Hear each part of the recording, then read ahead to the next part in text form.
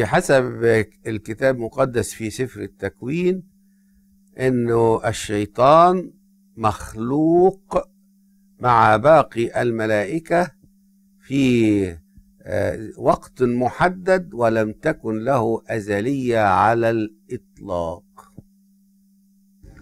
الشيطان اللي إحنا بنتعامل معاه الآن هو نفس الشيطان ونفس التصرفات ولا إنه هذا الشيطان بيتغير أساليبه وأدواته على مختلف العصور والأيام والأشخاص أيضا؟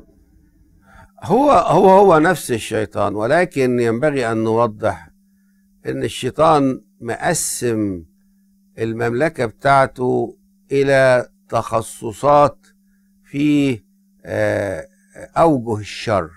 يعني يعني دلوقتي أنا بقول عسكري أو جندي في الشرطة أو جندي في الجيش. هذا الجندي اللي في الجيش صفته صفات الجنود جميعا واحدة أنهم جنود.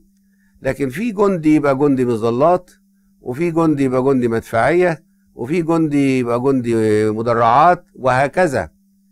فهو زي مثال الجيش كل جندي بيوجه طاقة القتال من خلال تخصص.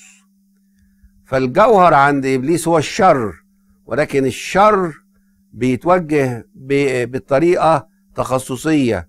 فالبعض بقت أرواح قتل البعض أرواح كذب. البعض أرواح ضلال البعض أرواح زنا وهكذا. ومن ثم فكل فصيل من فصائل جيشه شكل بطريقة تحقق الهدف الأساسي للمهمة بتاعته. طبعا ما يلغيش إن جند المظلات لو لو تواجه في موقف ينبغي إنه يعمل عمل جندي المشاة هيعمله فهو جندي. فبرضه ما يلغيش إنه التخصص ده موجه ولكنه في الآخر هو شيطان ويقدر يشتغل في شغل المملكة حسب الاحتياج. ولكن هم الشياطين اللي بيحركوا الحرب والقتال وال والقيادات وال والرؤساء وما إليه للشر. هم بعينهم اللي بيحاربوا ال ال الناس الطبيعيين. هم بعينهم اللي بيحققوا الشهوات والرجسات إلى آخره.